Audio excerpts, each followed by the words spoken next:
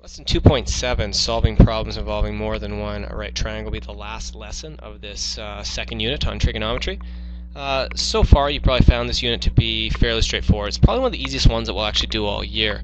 Um, this last section pushes students a little bit more, though, so you may experience some difficulty. So let's get started with this, and uh, maybe we'll try and challenge you a bit.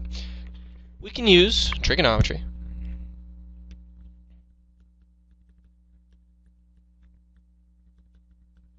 to solve problems that can be modeled using right triangles. When more than one right triangle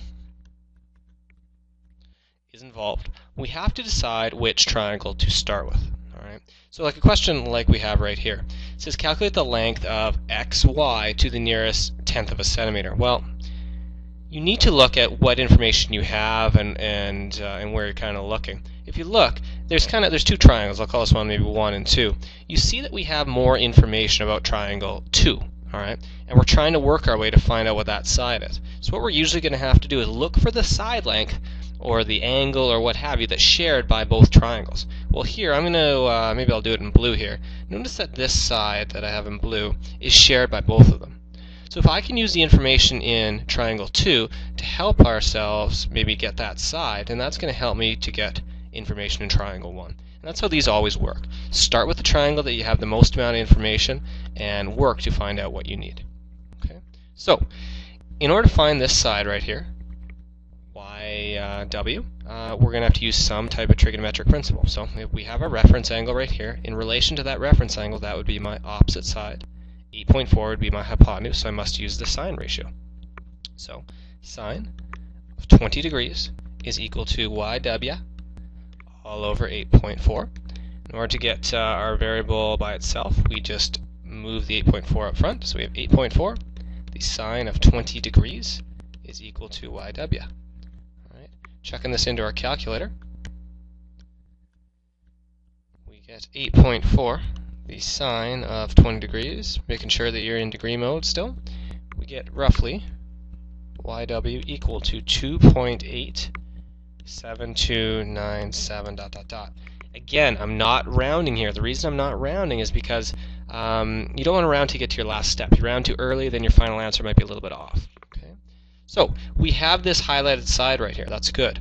Now what we need to find out is what they're looking for. So I made it kind of ugly here, but we know this side. Okay. We are looking, of course, we have a 90 degree angle right there. We are looking for this side. Now in relation to this angle, this would be my adjacent and the side that uh, I'm looking for would be the hypotenuse. Well, the ratio that combines those, of course, is cosine. The cosine of 22 degrees is equal to the adjacent, this time being our answer that we had, 2.87297, all divided by yx, or I guess I'll call it xy, that's what they called it in the question. Recall, in order to get xy by itself, we're going to swap these. So the answer is going to be xy divided by, sorry, xy is equal to 2.87297, all divided by the cosine of 22 degrees. Now the beauty of this, you'll see on your calculator, and I suggest you do this, is just leave it in right there. All I have to do is take that answer now and divide it by the cosine of 22 degrees, and I'm going to have a very, very accurate answer. So I have 3.0985. The question asked me to the nearest tenth of a centimeter, so I can say that xy is equal to 3.1 centimeters. Okay. It's a relatively basic question dealing with two triangles, but that's how uh, most of these are going to work. Move forward. Example 2. A surveyor stands at a window on the ninth floor. So he's right here. Maybe we'll draw him a little. There he is, living the dream. Uh, he uses a clinometer. You might recall us using a clinometer, clinometer earlier uh, this unit uh, to measure the angle of elevation and depression of the top and uh, base of the taller building. The surveyor sketches this plan of his measurements. Determine the height of the taller building to the nearest tenth of a meter. So we want to figure out what the height is of this entire, I guess it's kind of in a tan color over here, that entire height. Well, let's start out with some information that we know. We obviously know that the height of the tower from here to here is going to be 39 meters. Okay, they tell you that from looking at the fellow on the ninth floor. what we have to do is we have to figure out what this portion is. Maybe I'll call it x up here. So how are we going to work our way to figure out what x is? Well, once again, look for the side length that is shared by both triangles. Well, the side length that I want to focus on is this blue one again. Eh, I better not use blue there. Let's use green. Okay, it's going to be this green guy going right through the middle there. So in order to find that side length, we're going to have to use some trigonometry. Well, we'll use our reference angle. We'll use the side that we have right here, which is the opposite one, and we're looking for, of course, this side here, which I'll call the adjacent. Maybe I'll even use, uh, what should I use? I'll use, I've used x already, so I'll use y here. So the tangent of 42 degrees is equal to the opposite 39 meters over the adjacent, which we'll call y. In order to get y by itself, we swap those. 39 divided by the tangent of 42 degrees is equal to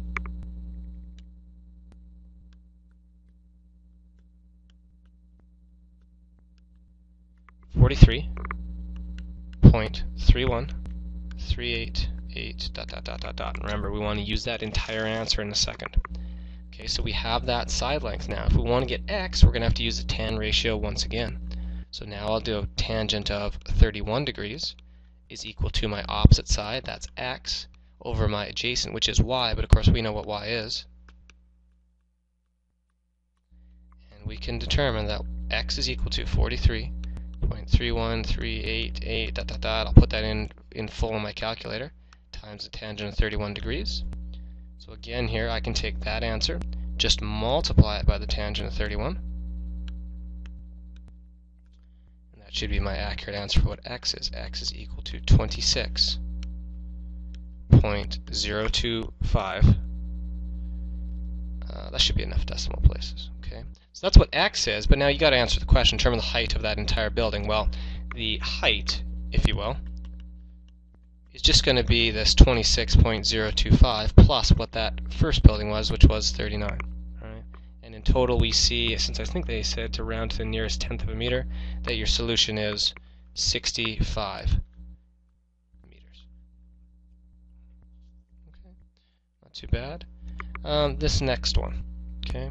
Uh, this one is um, uh, is a little bit tougher, and I'm going to do this one example kind of like I did one uh, earlier uh, in this unit where I'm going to get you guys try this one on your own. What I'm going to give you is I'm going to give you the final answer. If you don't get this one on your own, what I want you to do is come talk to me or one of your colleagues in class and um, and determine how to do this. Right, so this one's a little bit more difficult. Uh, the final answer that you should get they are looking for the distance of how far apart are the students to the nearest meter. Well, we have one student here, one student here. They're looking for this distance. Okay, is I'll just write maybe distance equals 32 meters. A quick little hint if you want one to get started is you'll notice that you have, I'll try and maybe I'll do this first one in, let's do fluorescent green. We have one triangle right here. Notice how that makes a 90 degree angle. You're going to have to somehow use that triangle. There's another one I'll do over here in purple. You're going to have to somehow use that triangle. Alright, now that you have those two, somehow that's going to assist you with this bottom triangle right here, okay, to find that distance that we're looking for. So try that one on your own. We're looking for that answer. If you don't get that answer, then uh, come talk to me or one of your colleagues in class. Last one we have here, number four, is probably my favorite question of the entire unit, one that I would love to throw on a unit test with you guys. Alright, so keep that in mind. Um, this one's going to look very similar to one that I got you doing your homework, although what we're going to do is we're going to label uh, the side lengths a little bit different. So let's make this side EF equal to, I don't know, let's do 8 meters. Let's do FG, we'll make it, um, I don't know, 4 meters. And let's do the BG side right here. Let's make it 6 meters. Okay. So if you can visualize a box, what I'm looking for, or um, a rectangular prism like we have right here, uh, the one that I often use in class to show students is the, uh, the tissue box. Um, I'm looking for the distance from the top corner all the way through the middle, kind of, through to the uh, bottom opposite corner. Okay. So we're going to have to use our trigonometric information. One of the ratios is going to help us here. The question is, how? Well, let's start with this. If I draw this as a triangle, hoping you guys can kind of visualize how this is. This would be like a cross section, like right through the middle. Well, with that triangle, I'm going to need um, to figure out what this bottom, this maybe I'll call it h for because it's the hypotenuse of this bottom side. Well, in order to find that h, I'm going to have to do some work. I know that the distance from a to h is 6 right there, but before I can get there, like I said, got to do some work. Now, if you look at this bottom portion, okay, so I'm going to draw a rectangle here. And I'll label this as h, g, e, and f. What I want to figure out is what this bottom part is. So now I'm looking at this um, rectangular prism as though you were looking uh, down at it from the top. All right, I want to figure out what h is. Well, we have enough information to figure that out, although we're just going to have to do a little bit of work.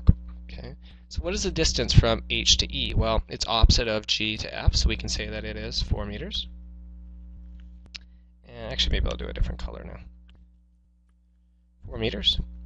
And then from e to f is 8 meters. Okay, since we have a rectangular prism, we can assume that's a 90 degree angle and we are off to the races here, we can use some Pythagoras. So 4 squared plus 8 squared is equal to, I'll call it h squared.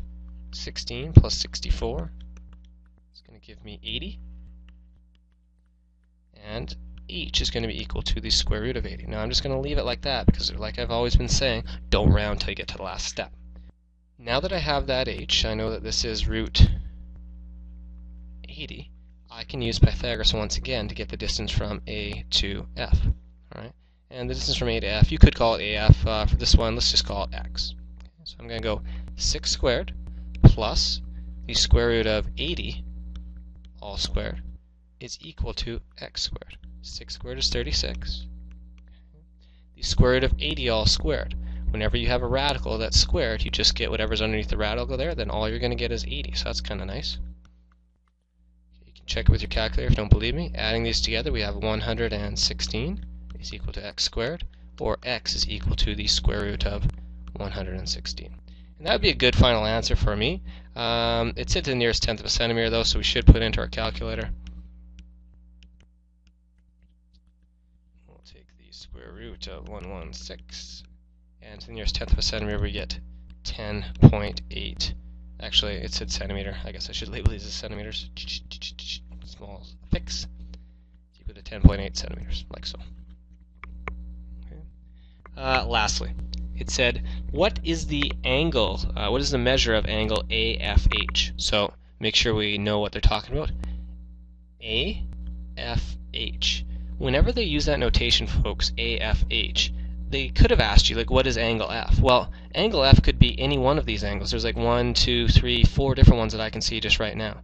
So in order to say that, um, in order to, I guess, uh, be specific about which one they're looking for, they're going to use this notation. So they go from A to F to H. So it's looking at this little angle right in here. So I'm going to draw this triangle kind of again down here.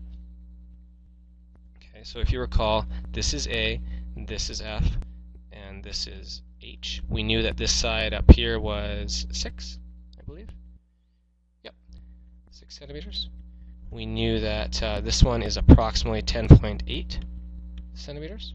And we knew that the bottom one was the square root of 80 centimeters. They want to know what this angle is right here. Now, two of these answers are exact. Two of these side lengths are exact. The 6 and the root 80. You could use whatever ratio you want here, but you got to be careful. If you use the 10.8, that one's been rounded, right? It wasn't exactly, excuse me, uh, 10.8. So therefore, I would suggest using the tangent ratio because it has the two highlighted numbers. So I will go the tangent of uh, AFH is equal to my adjacent, sorry, my opposite 6 over my adjacent root 80.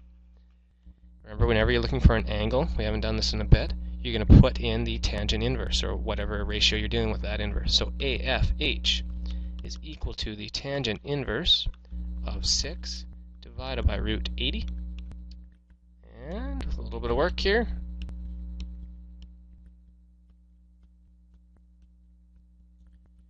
Have your solution.